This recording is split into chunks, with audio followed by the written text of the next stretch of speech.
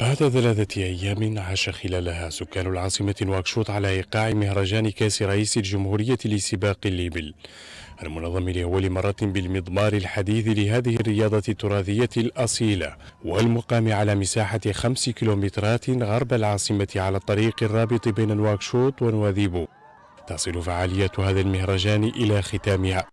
وقائع هذا المهرجان شهدت إضافة إلى منافسات كأس رئيس الجمهورية لرياضة سباق الإبل تنظيم عدة فعاليات أخرى من بينها الألعاب والرياضات التقليدية مثل السيك وكرور وضامت إضافة إلى منافسات في رياضة الرماية التقليدية جرت بمشاركة عدة أندية وأخرى في الرياضة الفروسية. الحفل الختامي لهذا المهرجان تميز بحضور معتبر من قبل المهتمين بالرياضات والألعاب التقليدية وقدمت خلاله الجوائز المالية والكؤوس للفائزين الأوائل في مختلف المنافسات التي شهدها المهرجان. المدير العام للثقافة بوزارة الثقافة والشباب والرياضة والعلاقات مع البرلمان.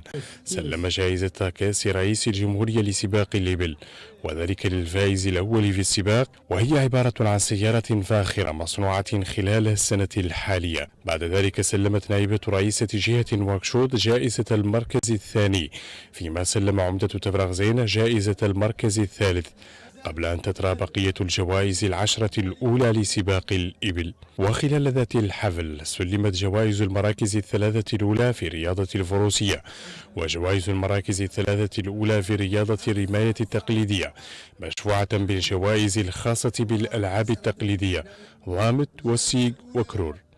حجم المشاركة التي حظي بها كأس رئيس الجمهورية لسباق الإبل تشكل سانحة لتعزيز الاستثمار في هذا النوع من الرياضات التراثية الأصيلة.